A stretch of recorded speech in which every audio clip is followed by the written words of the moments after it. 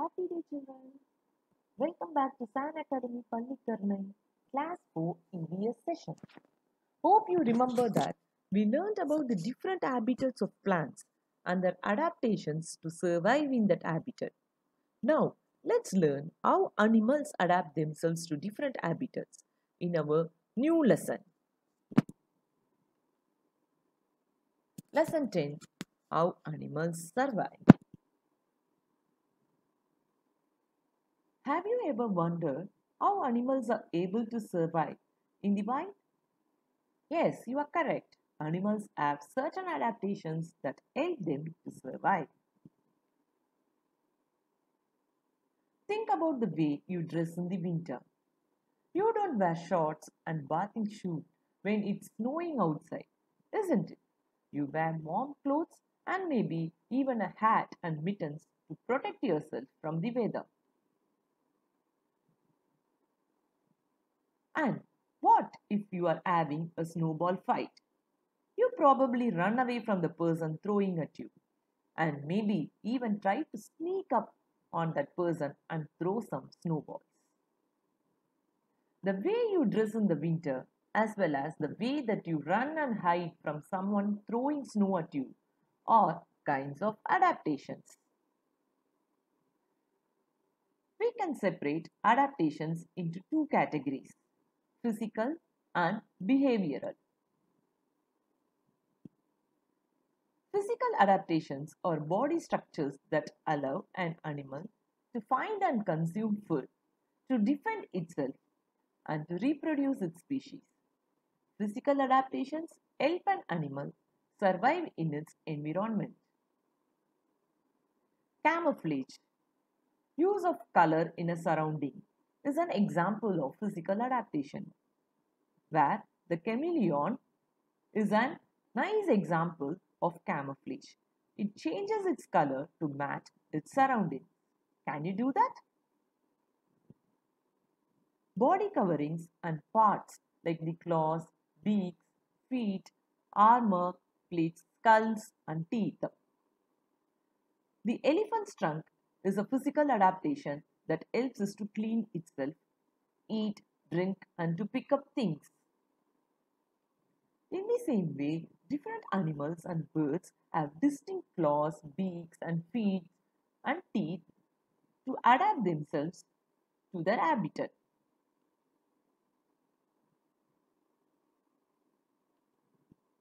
Now, let's see what is behavioral adaptations.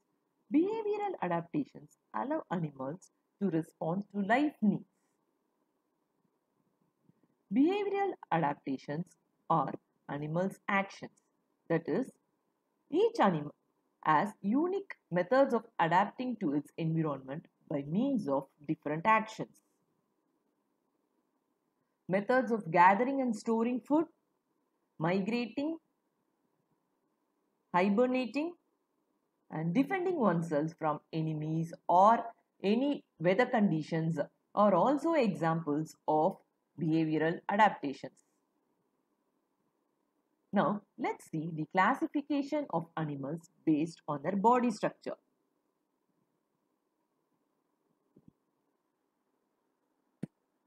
Based on the absence or presence of a backbone, animals can be divided into two groups.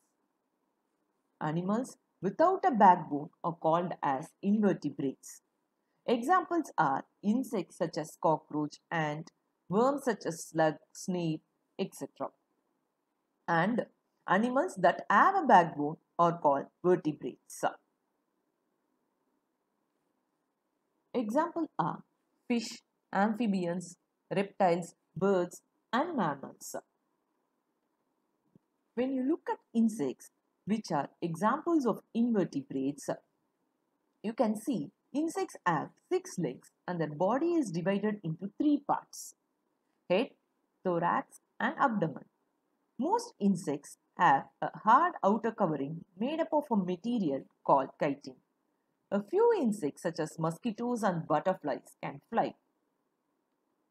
Vertebrates are further classified into fish, amphibians, reptiles, birds and mammals. Now, let's learn the adaptations of the vertebrates. Fishes. This group consists of large variety of animals that live in water. Fishes breathe through gills and they have fins to swim. The body is covered with scales. Examples cod, shark and mackerel.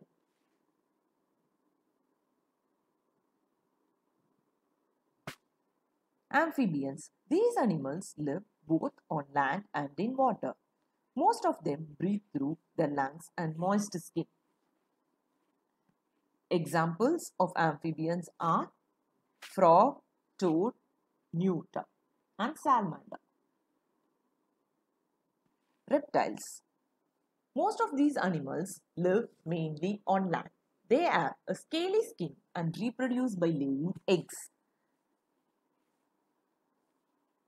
Lizards, snakes, and crocodiles are examples of reptiles.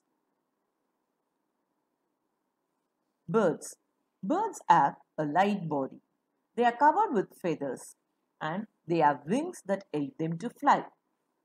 Example, hummingbird, sparrow and eagle.